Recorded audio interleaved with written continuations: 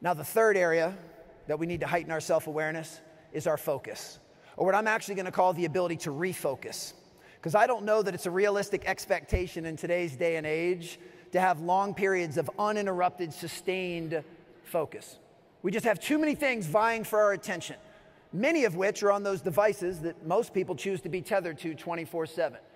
But what we can develop is the ability to refocus the lens.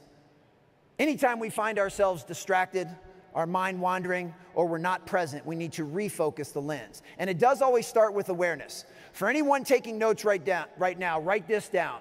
Awareness is always the first step to improvement. You know how I know that? You'll never improve something you're unaware of, and you will never fix something you're oblivious to.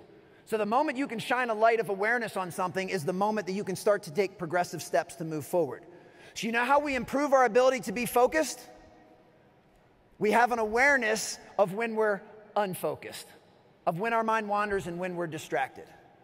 So, what is it that I want you all to focus on? Once again, for those taking notes, write this acronym down W I N. I learned this from Lou Holtz, the former Hall of Fame football coach at Notre Dame. The acronym is W I N, and it stands for What's Important Now.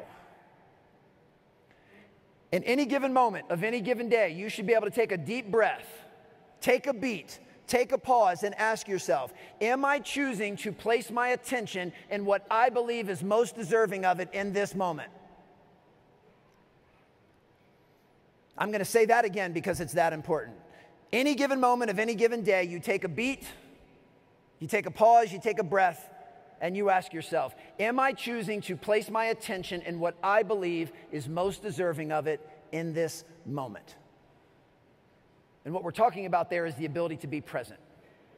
Now, the short definition of be present, I heard this from Oprah and I heard this from Nick Saban, the Hall of Fame football coach at Alabama. And I figure if both of those people are saying it, it has to be true.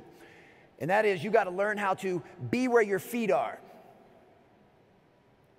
Be where your feet are. Wherever your feet are, make sure that's where your head and your heart are as well.